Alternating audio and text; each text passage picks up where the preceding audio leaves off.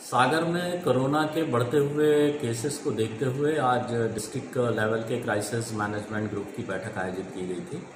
बैठक में ये बात निकल के आई है कि सागर जिला मुख्यालय, मकरोनिया और कैंट सदर क्षेत्र में अभी पिछले सात दिनों में प्रकरणों की संख्या बढ़ी है।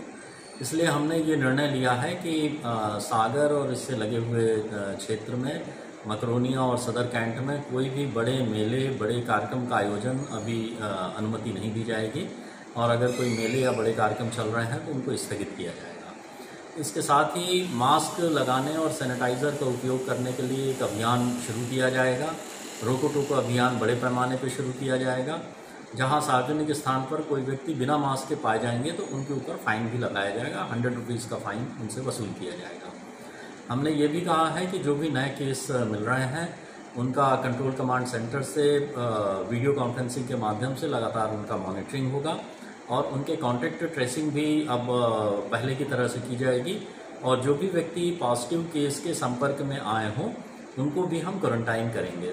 मैं सागर ज़िले के सभी निवासियों से अनुरोध करना चाहूँगा कि आप एक तो वैक्सीनेशन ज़रूर कराएँ दूसरा कोरोना के केसेस अभी बढ़ना फिर से शुरू हो गए हैं। सावधानी बरतें, मास्क लगाएँ, अपने हाथ को सैनिटाइजर या साबुन से धोते रहें, बाहर नहीं निकलें। अगर बहुत आवश्यक है बाहर निकलना तो वहाँ पर आप सामाजिक दूरी बनाए रखें।